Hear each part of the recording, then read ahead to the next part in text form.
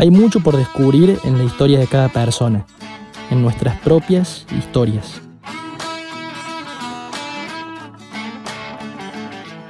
En esta segunda temporada de entrevistas voy a entrar en esas experiencias que muestran que a pesar de ser distintos, no somos tan diferentes. Soy Cristóbal Cravero y esto es Descubrimiento Podcast. Bueno, bienvenidos y bienvenidas a todos a un nuevo episodio de Descubrimiento Podcast. Hoy estamos grabando con un invitado internacional, pero que es argentino.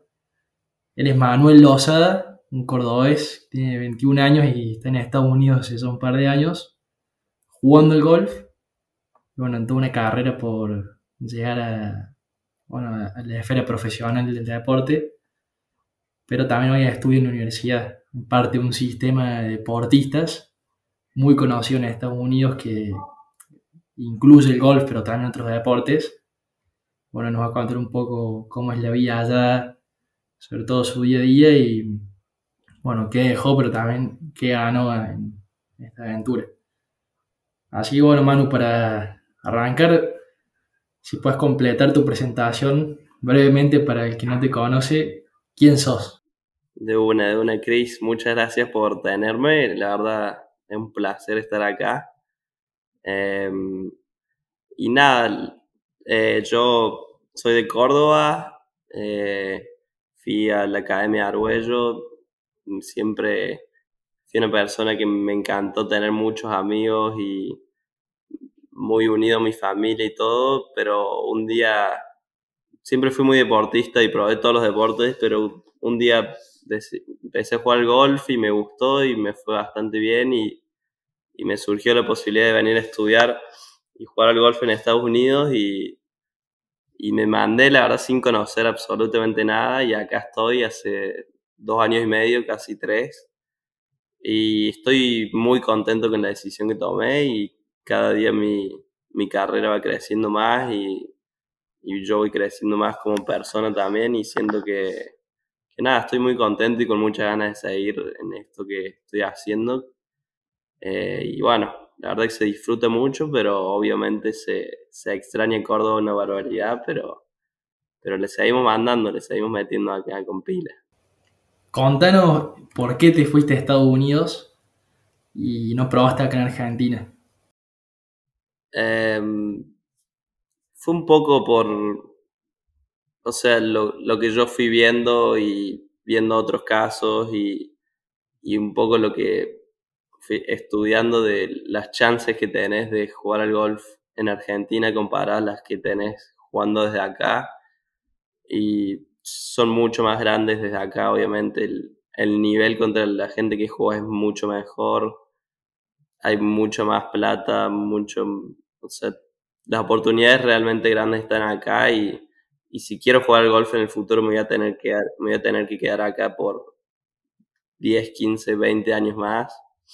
Y bueno, es lo que, es lo que estoy dispuesto a dejar de lado por, por cumplir los objetivos y tener la carrera que yo quiero tener. Em, pero bueno, o sea, podría haberlo intentado desde Argentina y no descarto terminar la universidad y volver a Argentina, intentar volver desde ahí acá porque, o sea, es todo muy complejo, depende cómo te va en college, si vos entras a un circuito de golf profesional para poder quedarte acá y si no tenés que volver a jugar en el PGA en Latinoamérica. Pero, pero bueno, eso lo veré cuando me reciba y, y tomaré las decisiones que habrá que tomar. Hace un rato me, me comentabas antes de grabar, bueno, esto que es el principio del sistema universidad y deporte. Explícanos un poco cómo es eh, esto del college y por qué, bueno, vos tenés que estudiar para poder jugar al golf. Em, las universidades acá funcionan, o sea, la gran mayoría de las universidades tienen sus deportes.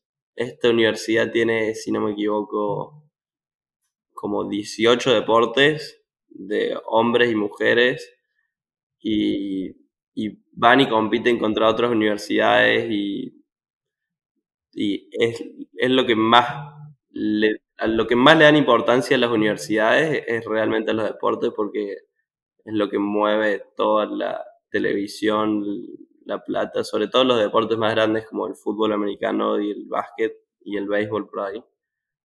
Pero realmente son programas como súper, súper profesionales y súper bien organizados que, que realmente te dan la mejor chance que puedes tener de, de llegar a, o sea, al mejor nivel que vos puedas llegar. ¿Y qué estudias y dónde? O sea, ¿en qué parte de Estados Unidos estás Yo estoy en la Universidad de Arkansas, en Arkansas, y estudio una carrera que se llama Sport Management, que es un poco todo lo que tiene que ver con los negocios y las empresas que giran alrededor del deporte y todo lo que va por afuera de, de lo que son los deportistas y cómo se maneja todo. Eh, que la verdad me divierte bastante y, y, está buena, me gusta, pero, pero al final del día, o sea, lo que quiero es seguir jugando el golf y dedicarme al golf, como la gran mayoría de los atletas que están en la universidad que son un millón y compartís todo el día todo con los atletas porque siempre tenemos un comedor solo para atletas, por ejemplo, y los veo todos ahí. Y los flacos, o sea, hay flacos que son realmente muy, muy buenos en sus deportes acá y, y los ves y están, o sea, tienen otra mentalidad, realmente es impresionante. Yo te veo ahí en el almuerzo pidiendo autógrafos. No, nunca le pediría autógrafo a nadie, pero, pero sí. O sea, un flaco es el, el número uno de, de, atletismo del mundo, suponete, en, esta universidad. Y lo ves y come siempre lo mismo, a los mismos horarios, se duerme todos los días a los mismos horarios, es una máquina. Claro, impresionante. Bueno, Manu, acá en, por como yo lo veo por lo menos, hay una idea de que, viste, si te vas a Estados Unidos, te ven un poco como que somos latinos, un sudaca. Decime vos cómo le vivías allá de ese, lado, eh, y bueno, si realmente están así, de tu experiencia, ¿no? Que sos argentino, que por ahí no tenés el acento eh, norteamericano para hablar y esas cosas. Nunca, y nunca te van a ver igual, nunca te van a ver como, como una persona más, o sea, es como que vaya un gringo a Argentina y, hable español, pero hable súper raro, o sea, ya apenas te... Y aparte somos distintos físicamente ya, pero... Pero la verdad que te tratan muy bien, o sea, en mi caso, como me fue a mí, la verdad que no me puedo quejar de nada. Tengo muchos amigos gringos y estamos rodeados todo el día de hablando en inglés con gente acá y la verdad que nos tratan increíble.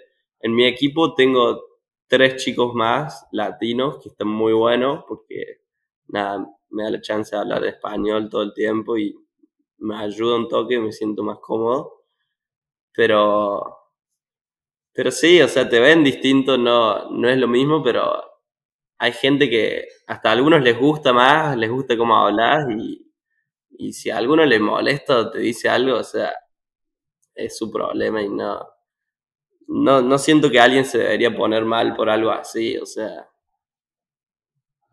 es, sí, somos, somos de otro país y nada más y hablamos otro idioma. Claro, en el fondo no es tan raro que por ahí son un trato distinto. Por ahí uno se lo termina, se termina creyendo que es más raro de lo que piensa y después cuando te soltas te das cuenta que que podés ser re amigo de cualquier persona, de cualquier persona acá, podés tener una novia acá, lo que sea, y no pasa nada. Bueno, me gusta, me gusta esa idea, esa visión.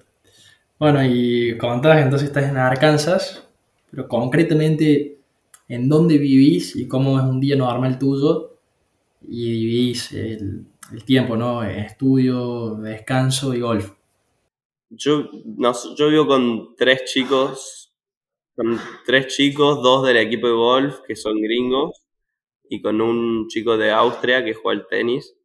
Y, y nada, vivimos a cinco minutos de la universidad donde tenemos clases, que es muy grande, la universidad es gigante, o sea, tiene 36.000 alumnos. Entonces vos tenés una clase a 5 minutos y la otra a 10 minutos y tenés que irte moviendo y así. Pero vivimos a 5 minutos del campus y a 15 minutos de la cancha de golf.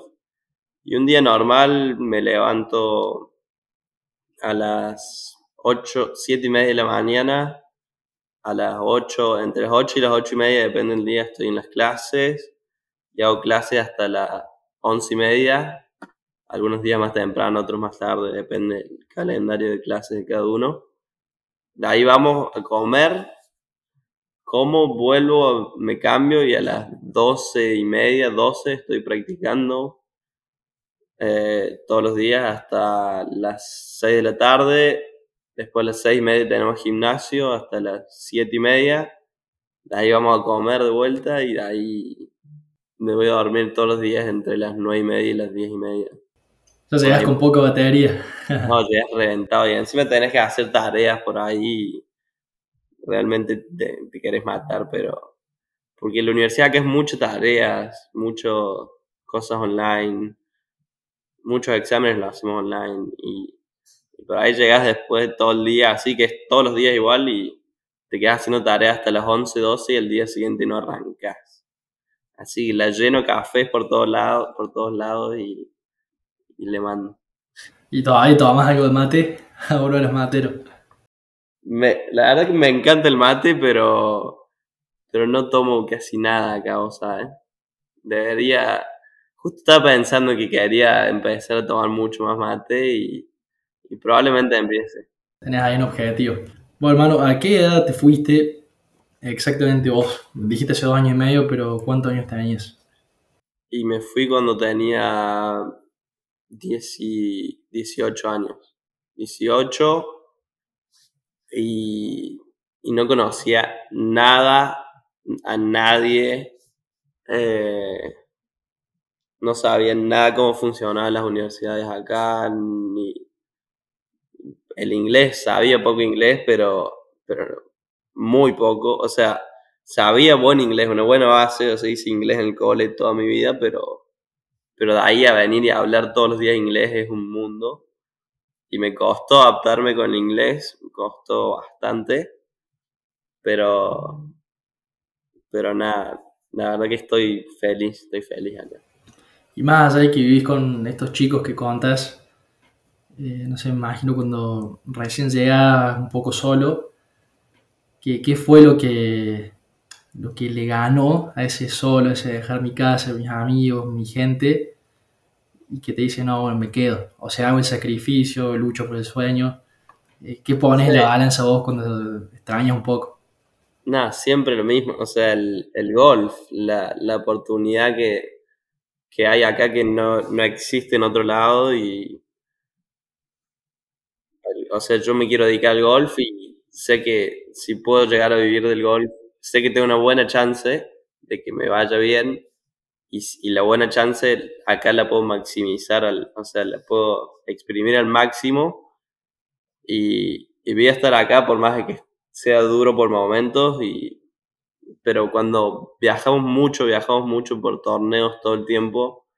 Y la verdad que cuando estoy en un torneo, o sea, mi cabeza nunca va a estar mal por tener ganas de estar en Córdoba. O sea, voy a, voy a estar 100% en el torneo y, y después cuando estoy acá, pues, por ahí se me hacen un poco largos los días y todo, pero, pero eso de estar tan a full todo el día, te, o sea, no puedo no, no puedo ni pensar tanto en, en, extrañar. Los domingos te diría que por ahí cuando teníamos día libre era el peor día de la semana porque no hacías nada. Cuando no haces nada acá la pasas pésimo. Es cuando querés estar en Córdoba. Pero si no estamos todo el día haciendo cosas y, y como me hice amigos, muy buenos amigos, muy buena onda y estoy todo el día con ellos. O sea, son como mi familia. Entonces, corregime si me equivoco, pero te ayudó ya haberte la jugado por completo. O sea, dijiste acá todo nada. o sea, siempre supe que, que, si, no me, si no me gustaba y me quería volver, me iba a volver. O sea, nunca estuvo en mi cabeza volverme. Pero siempre supe que no es como que me estoy metiendo en la cárcel, o sea, si quiero volver, voy a volver. Y, y nada, o sea, cuando llegué acá, lo otro que me ayudó un montón fue tener, tener gente, o sea, de Latinoamérica. Hay dos chicos de Argentina ahora en el equipo de golf, que soy muy amigo, y nada, eso está buenísimo. Uno, uno de Córdoba también, lo conozco toda la vida, C1 Oliva. Eh, y después hay un chico de Perú que es muy buena onda, soy muy amigo. Estuve con un chico, un chico de México que se graduó, también era un genio. Y otro de Colombia que mi mejor amigo prácticamente también se fue el año pasado, pero, pero nada, todo eso ayuda un montón, porque hablando español y, y nada, tienen las costumbres más parecidas, te sentís más como si estuvieses en tu casa, pero, pero igual Ahora, ahora vivo con gringos y súper bien. Súper bien. ¿Quién es tu ídolo máximo del golf? Tu referente. Eh, el Pato Cabrera. Qué Es grande. del loco. mismo club que, que yo y desde chiquito siempre lo vi como, como algo que, que me, me impactó mucho desde que lo vi desde muy chico y desde ahí siempre quise ser como él y, y jugar como donde jugaba él y, ¿Y lo pudiste conocer personalmente? Sí, lo pude conocer personalmente un par de veces y nada, un genio, la verdad que es increíble persona. Yo lo, lo banco a muerte. Y si podrías charlar cinco minutos con él ahora, ¿qué, qué le preguntarías o qué le dirías? Eh, nada, hablar- te- podría hablar horas con él, todo de golf y de cómo funcionaba su cabeza en tal momento, porque me vi, me vi todos los torneos, los torneos que ganó, los vi, me lo sé perfectamente todo. Y, y es impresionante. El golf es un deporte súper, súper, súper mental. Y, y yo creo que eso es lo, lo, o sea, su virtud más grande era lo fuerte que era su cabeza y como lo tranquilo que estaba en momentos que te generan tanta presión. Así nada, le preguntaría qué, qué sentía en esos momentos y cómo, cómo lo manejaba. Como algo ahí que decías y, y esta referencia del pato, ¿te parece que el golf en tu caso, pero el deporte en general, te da enseñanzas para la vida y la vida te da enseñanzas para el deporte? O sea, ¿están conectados o, lo ves más como, bueno, una parte de mi vida es el golf y la otra parte el Manu Lozada? O sea, me encantaría, me encantaría agarrar mi cabeza, dividirla en dos y poner el golf en un lado y mi vida por el otro, pero no, no se puede. O sea, realmente, o sea, y le dedicamos tanto tiempo, lo hablamos todo el tiempo con los chicos que, o sea, lo único que pasa por nuestra cabeza es, es golf y cómo puedo mejorar y cómo, porque vas un día y haces todo bien, pero te faltó este poquito y es como, ¿por qué? Y el día siguiente querés mejorar eso y el día siguiente es otra cosa. Y es muy loco porque, o sea, estás cinco horas adentro de una cancha pegándole una pelotita y, y todos los días pasan cosas distintas y, y, y, y nadie, nadie juega perfecto nunca. O sea, no, no parece fácil y, y no es, y es muy difícil, muy, muy difícil. Pero, pero eso es lo lindo y hay que aprender a, a disfrutar eso. ¿Juegan todos los días en la misma cancha o entrenan en la misma cancha? Vamos moviéndonos entre dos o tres canchas que hay por acá, pero hay una que es tipo la, la sede donde practicamos siempre, sí. Que es donde estoy ahora. Y como decía vos, esto de que cada día es nuevo, no, no se aburren, digamos, de, de no Nunca, sé, nunca. caminar la misma cancha, los mismos hoyos, más o menos No, la misma no, gente. Te juro que no, porque te cambian, o sea, cambia todo de un día para el otro. El viento se mueve un poquito, o sea, como golfista vos llegás acá a poner y, tenés que saber si el viento está del nor-noroeste, del noreste, del norte, del sur, de donde esté exactamente, cuántas millas de viento hay. Así todos los días no podés salir a jugar sin saber eso, para empezar. Y de ahí te van cambiando las banderas del lugar en los, en los greens y, y los tíes salir, te van cambiando todo y jugás todos los días canchas distintas jugando en la misma cancha. O sea, es muy loco. Manu, y por ahí también capaz una percepción mía, decirme qué te parece, pero hay una idea dando vueltas como de que el golf, viste, está bien que no es un deporte tan popular, pero bueno, para gente medio selecta o viste, no cualquiera puede jugar, si bien implica tener palos y un cierto presupuesto. Eh, ¿Qué le decís a la gente que no sabe tanto del golf? O no conoce, o por ahí tiene un prejuicio. ¿Qué invitación eh. tenés para decir, che, vení, agarrar el palo y probar? Eh, sí, o sea, es cierto, el, golf es.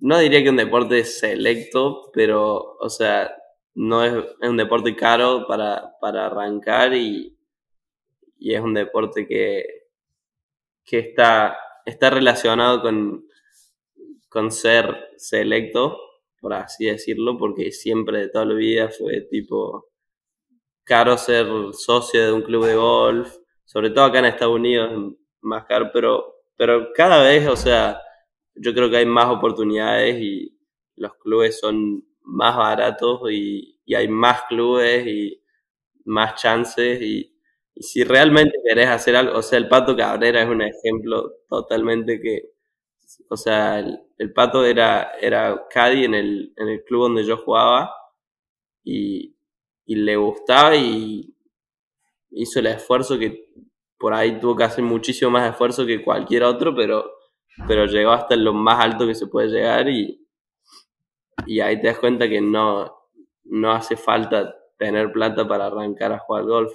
No sé si realmente lo querés, podés hacerlo desde cualquier lado.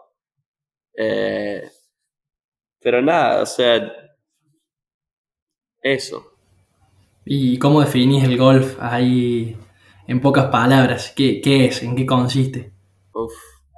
Em, la verdad que me parece que para que alguien que no, no, sabe nada de golf pueda o sea, entender el deporte, necesitaría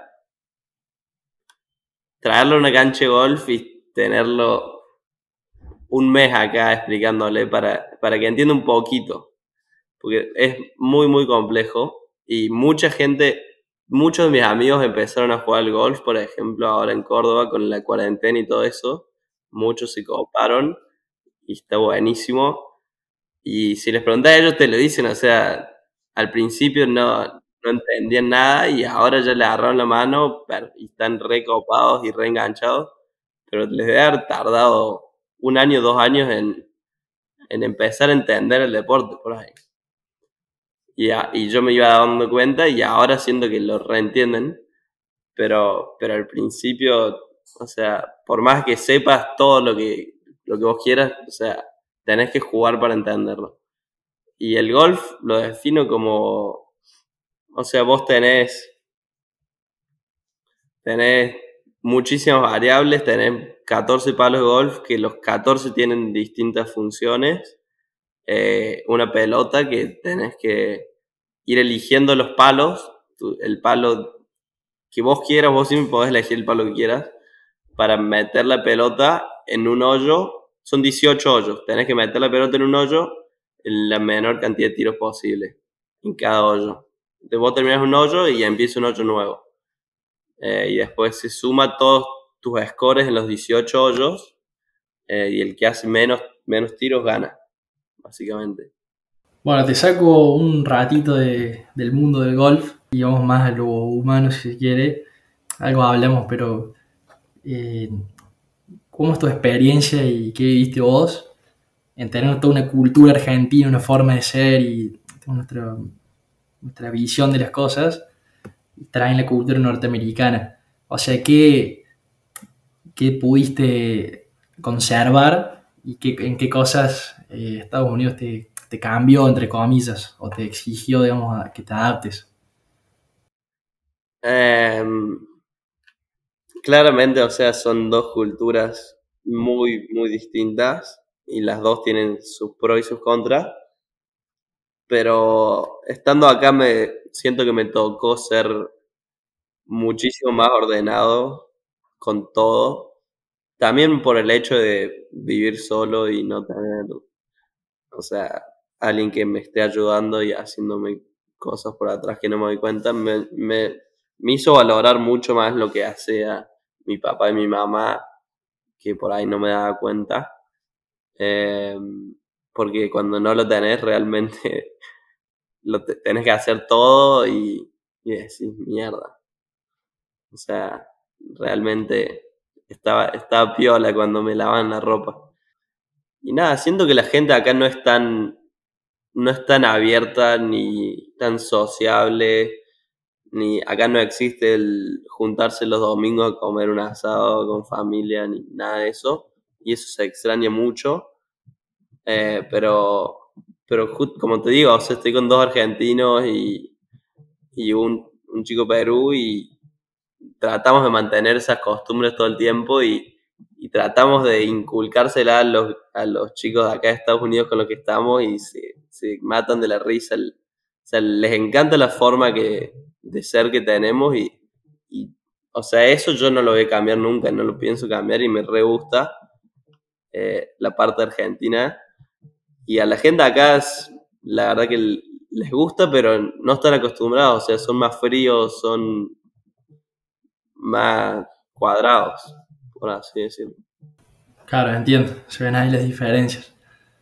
Bueno, y esta pregunta es un poco más complicada. Me gusta hacerla.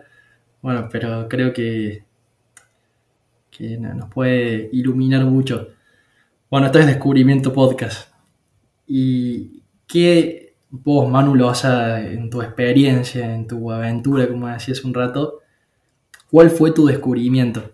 Que vos decís, che, bueno, si resumo todo, pumba, esto es lo que yo aprendí, lo que yo descubrí en este mundo del golf, en todo lo que contaste. La verdad, lo que yo descubrí de mí mismo y de la gente o lo que sea, es que, que o sea, no descubrí nada, es, es lógica, pero siempre piensa y pasa por mi cabeza lo, tipo, cuando estoy, estoy con gente de tantas culturas distintas y, y gente tan distinta todo el tiempo, como que lo que es la mente humana me vuelve loco, o sea, mi, y mi propia mente, que, que yo no puedo controlar el 99% de las veces, y, o sea, lo que, no sé si viene de la educación que tuviste cuando eras chico, de cómo te criaste, de la genética, lo que sea, pero, pero toda la gente siento que viene con un chip propio y, y como que todo el tiempo está como en una, como tratando de luchar las cosas negativas que tiene, pero, o sea, no, no se puede y hay que aprender a vivir con eso y mejorarlo por otros lados pero nada, me, me, me, gusta mucho ver esas cosas en otra gente y, y en mí mismo y tratar de, de, buscarle la vuelta para mejorarlo. Y me encanta hablar de eso con gente y cuando la gente se, habla, se abre a hablar de, de sus pensamientos y cosas así, me, la verdad me gusta mucho. Podría haber estudiado psicología. Bueno, por ahí una fácil de tuya. Sí. Y bueno, la última pregunta, si puedes soñar en esta, vale. ¿Cómo te ves en 10 años? ¿En dónde? ¿O haciendo qué? En 10 años me veo jugando al golf todavía, profesional, en, en, donde quiero jugar, que se llama, que es el PGA Tour.